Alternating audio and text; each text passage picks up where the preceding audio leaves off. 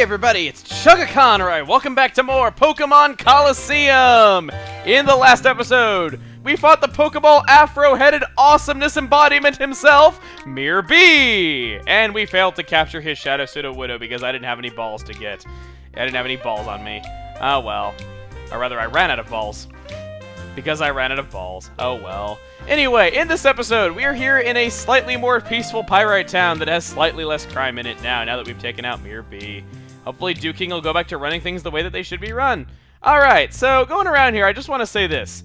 I might have given the constrict the um I might have misconstrued that I um or I might have made you misconstrue that I hate Pyrite Town's music. I don't hate Pyrite Town's music.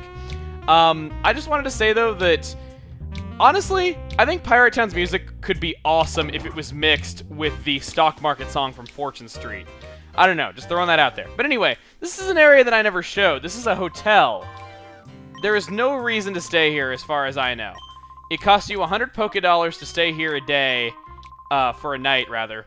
And you get healed to full health, which is nice. But as far as I know, there's not any benefit to staying here. And you can just go heal for free at the Colosseum. So I never did show off this area when we were trying to progress through the area quickly. I just thought I would kind of show it on the way out because, surprise, surprise, we're going to be leaving Pyrite Town. And, ooh, what do we got over here? Actually, this guy might have something for us. Mutter. Oh no, using Splash won't help. a bit of wit. I like that there. That, that was actually kind of witty for them to throw that guy there. Okay. So, let's go ahead and start heading out of Pyrite Town. We don't really have anything else to do. I'm going to want to obviously grab some more Pokeballs before we go on.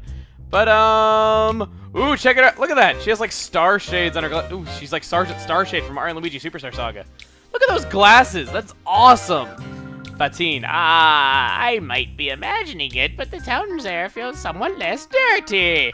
But not all is well. I can feel the presence of black auras coming from Shadow Pokemon. Wow, Fateen, nothing escapes your notice. After Shadow Pokemon have been a problem for how long, you're impressed by this? There is nothing that eludes the notice of my fortune-telling. Woof, woof, woof, whoa! The key to freeing Pokemon from that black aura is just in the north. Up north, that's where my grandpa lives too. Oh no, I forgot I was on my way to visit grandpa! Damn, you are like three weeks late realizing this. He lives in a Gate he lives in a gate village, that's north of here. Whoa, whoa, whoa! That being north may be no more than a coincidence. Maybe no more coincidence. Your answer may be there. Oh, my grandpa was a famous trainer when he was young. Maybe Grandpa would know something. Let's go see him, Wes. Alright, so we are going to be heading to the north at long last, so we're going to be seeing some new ground, finally, after being in Pyrite Town for how long? Now, before we go there, I do want to head back to Outskirts Stand and buy some items. So let's do it. Oh my god, Pokemon's on motorbikes! And while we're heading in, Ryder Willie, I gotta say this, if you reverse your name, you have the most unfortunate name of anyone ever. Maybe that's why his name is normal, because he has such an unfortunate innuendo of a name. And everyone in Orre has to have really stupid names. Okay. Let's go ahead and talk to Bigfoot over here. And let's buy a bunch of Great Balls, because I really... Whoa. Um... I don't want to quite spend all my money, but I'll spend most of it, because... Like I've said before, you don't... Money is not an issue in Colosseum. You can buy tons and tons of great balls, and it's never a problem. I should mention also that better balls will become available here later on, but for the time being, they are not. I'm buying 30 Great Balls because oftentimes Great Ball is about the most I need, so even when better balls become available, I tend to still go with Great Balls, but regardless of that, let's head to the north. A Gate Village, yet another type of stone. So we have Venetia, Pyrite, and a Gate. So, I don't know, maybe it's a Gate? A lush green town that is peacefully populated by old former ace trainers. Ooh. Sounds like we could meet some really awesome people there that we could learn a lot from. Let's go! Prepare for some really nice music and some really nice visuals.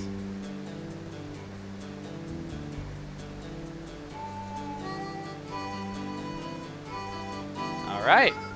Oh, here we are. This is where my grandpa and grandma live. Ah, the air tastes a lot different here. It's been so long. Okay, let's get going. I bet they're worried about me not getting here. The air would taste different for anybody coming from Pyrite Town. Really? Okay, so, Uh, starting off here at a, gat at a gate village, um, I do want to talk about a few things. This area um, is pretty damn different, if you can believe that. Um, we are going to be um, finding a lot more secrets hidden from here on out. Like over here, there's a cave. Would you ever think to look around here in a game that has not really had that many secret hidden items so far? Yeah, they're going to be throwing a lot at us. We got a Silk Scarf right there that'll power up some normal type moves. You've got that Fur Out with Strength. That is a great item to pick up. And we also have two Ultra Balls. Okay. Part of the reason why I wasn't too concerned about waiting on those better balls is that you get two Ultra Balls for free right there, so that's nice. Um, I'm not going to be dawdling too much. I do kind of want to go through all of this town in time, because there's a lot of interesting stuff here, and I mean a lot. Like, they really pack this area dense, and ooh, cool, a hat. Torchic is standing perfectly in that area. We got Oh? You're Eagun's granddaughter, aren't you? Come to think of it, he's been telling everyone that you're coming for a visit. He seems awfully pleased. Okay. So, I'm amazed that he didn't contact, like, the police and, like, file a missing person thing. Is that how long it's been that she was supposed to visit? What does this old fart have to say for us? Why, welcome to Agate Village. I said Agate. Village is home to trainers that were once considered experts, and of course, they're Pokemon. I think it's too early for people to settle here. Whoa! Ah, he's making fun of us. This guy up here will battle you. If you'd like to battle him, you can. And, um, while I wouldn't show the fight on camera, I do actually want to fight him really quick to show you something kind of cool. So, how about we battle him? Because the uh, battles that are in Agate Village look awesome. Look at that background. You got that huge waterfall. You got this big grassy meadow.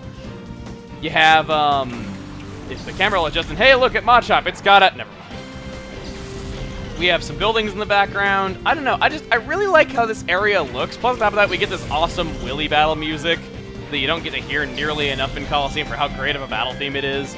So, yeah, as you can tell, I like fighting here just because, well, I just like how it looks and sounds. That's really about it. I like Agate Village a lot. I like the atmosphere that it has going for it.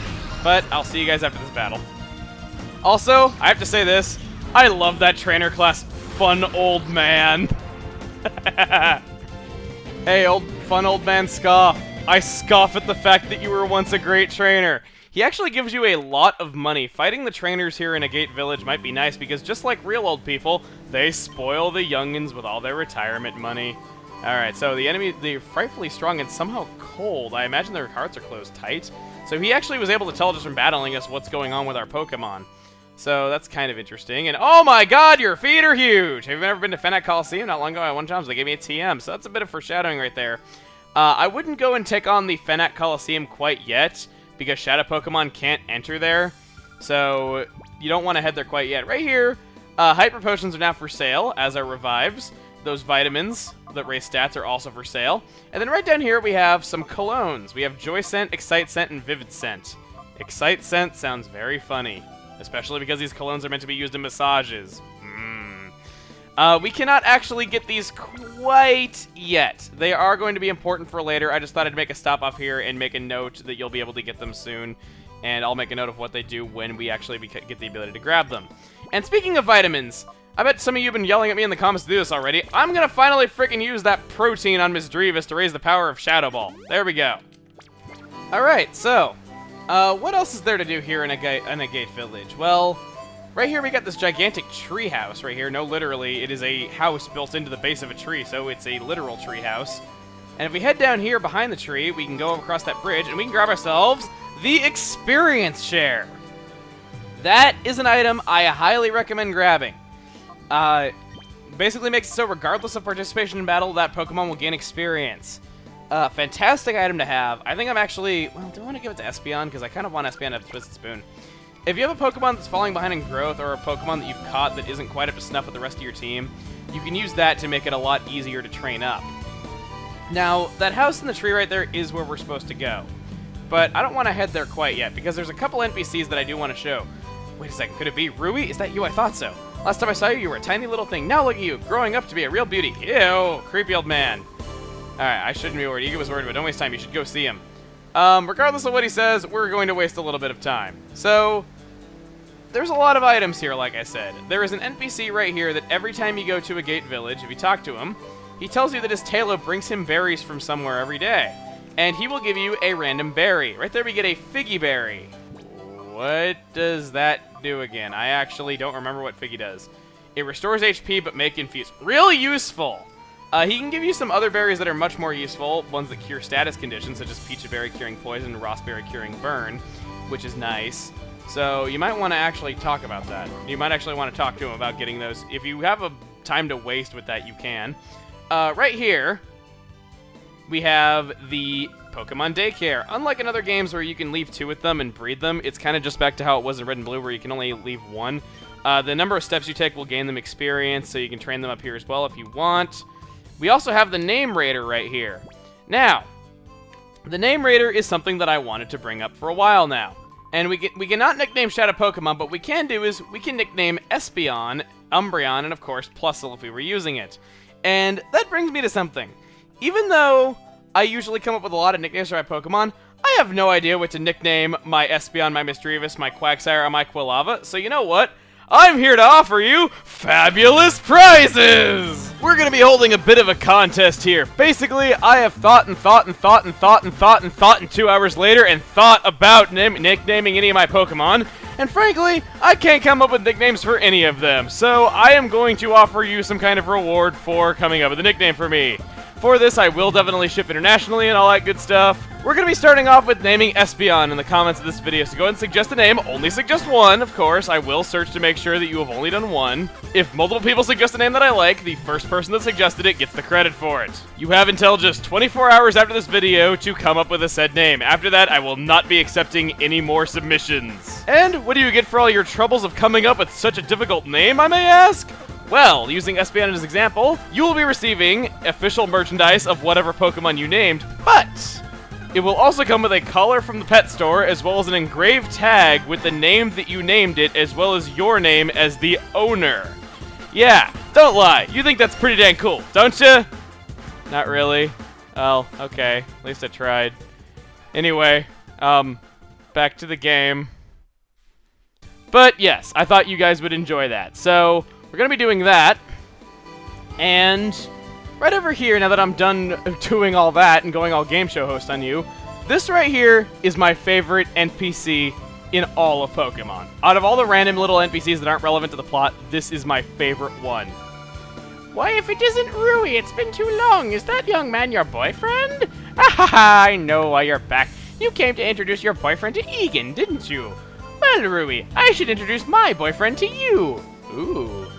You see? My boyfriend is this Mightyena here. Ho ho ho! Um... She'll even say it again. Bestiality! This is not Sonic Next Gen! Okay, no, not really. But the, the, the Mightyena even seems cool with it. I don't know. I guess when you're that old, it's kind of tough dating people because a lot of people are interested in dating at that age. So I don't know. Maybe that's why she went for it. I don't know. But I still find it kind of funny. Oh my god, your dress is huge! She also talks about the fact that um, your Pokemon's happiness will go up from being left at the daycare, which is always nice. Happiness doesn't play too big of a role here. Um, Espeon starts off with its happiness maxed out for return, so it's not that big a deal. Um, but that aside, we have done pretty much everything that I want to do here. There is a Pokemon Center right here. We could head down there, but we don't want to go there quite yet. I just kind of want to head into the center and heal up real quick. Also, I really like the interior of this Pokemon Center. It feels very, um... Feels very home-like. Very homely, is that the word? I don't know. Anyway, let's see here. Came to tap the knowledge of again tap the knowledge of the villagers about Pokemon. After all, even though they're retired, they were all great trainers in their prime. Get on battling, but I'll never neglect to checking the health of my Pokemon. Gah! Ow! But my back! Hmm, seems I should be the one getting my health checked. Wahaha! I like that. The, the dialogue does have a lot of wit in this. I mean, Pokemon dialogue I thought was kind of witty, but it didn't really hit this level of witty in the other main games into Heart Gold and Soul Silver. Um, so I'm really a fan of the writing in Colosseum. Anyway, so we head in here, where we're supposed to go at long last, and... Check it out.